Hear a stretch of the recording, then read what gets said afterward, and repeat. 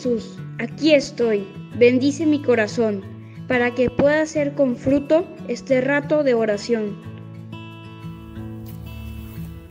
Hola niños, ¿cómo están? Soy el Padre José Antonio y ¿qué creen? Les hablo desde Argentina. Vine con otros sacerdotes de toda América, de Canadá hasta Chile y Argentina, a un curso.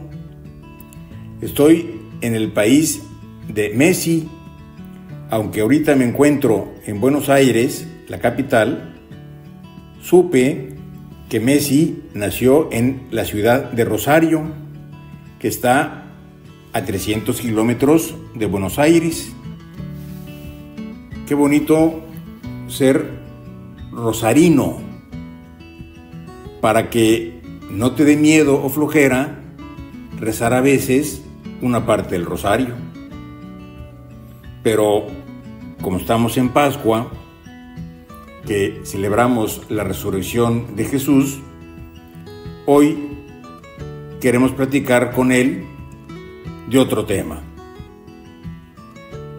Fíjate que hace poco me di cuenta de una cosa que dijo Jesús en Semana Santa. Te acordarás, tú estabas de vacaciones, que celebramos el jueves santo, la última cena. Y allí Jesús les dijo a sus apóstoles, a sus discípulos, entre los que ahora estamos tú y yo, que ya no nos llamaba siervos, sino amigos.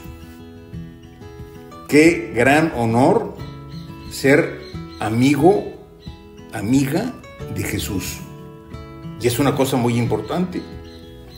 Pero mira cómo tres días después, el domingo, ya somos más que amigos. Somos hermanos. Cuando resucitó y se apareció a María Magdalena, le dijo, vete y dile a mis hermanos que subo a mi Dios y a su Dios.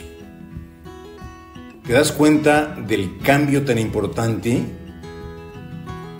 Ya no solo somos amigos, sino que somos hermanos.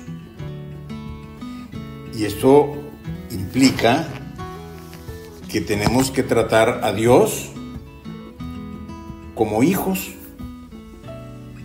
Quizás hayas oído alguna vez el término filiación divina. Bueno, es de lo que hoy Jesús quiero platicar contigo, de mi condición de hijo o de hija de Dios, de Dios Padre. Mira, Jesús ha querido morir por nosotros y cuando murió en la cruz por nosotros el Viernes Santo, nos hizo hijos de Dios. ¿Qué significa para ti y para mí ser hijos de Dios?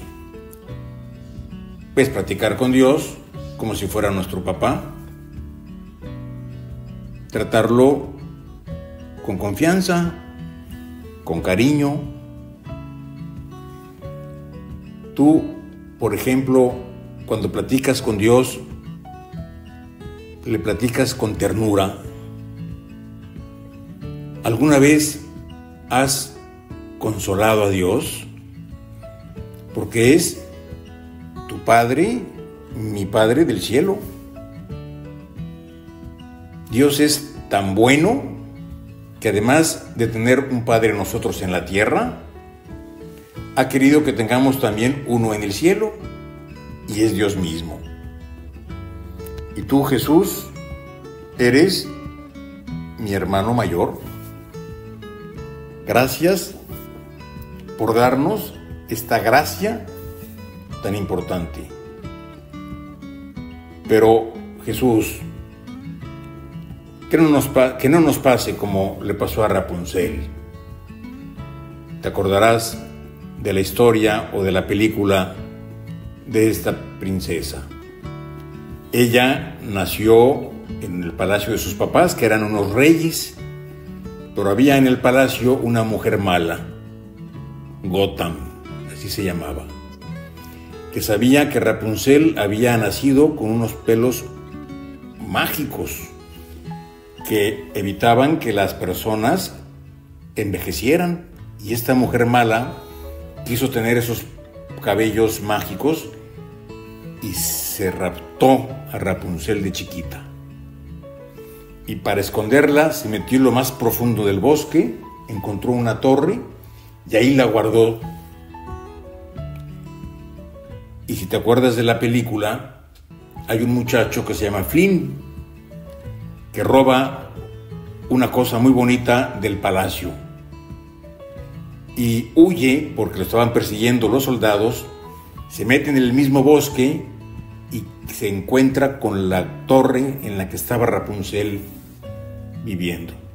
Y piensa, qué buen escondite. Sube a la torre, Rapunzel ve que alguien extraño entra en su cuarto y le da un sartenazo que lo deja inconsciente y ya lo amarra con sus cabellos tan largos que tenía y ya sigue la historia que no te cuento porque si no se nos va el tiempo de este ratito de oración. Pero lo importante de la historia es que Rapunzel no sabía que era hija de reyes, que no nos pase a nosotros lo mismo, que no nos pase que no sabemos, que no sepamos que somos hijos de Dios.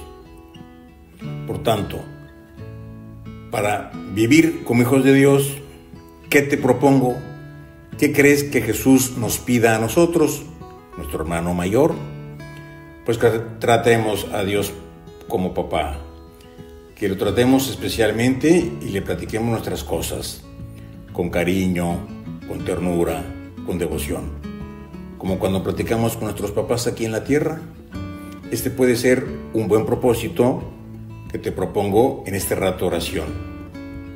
Tratar a Dios como nuestro Padre.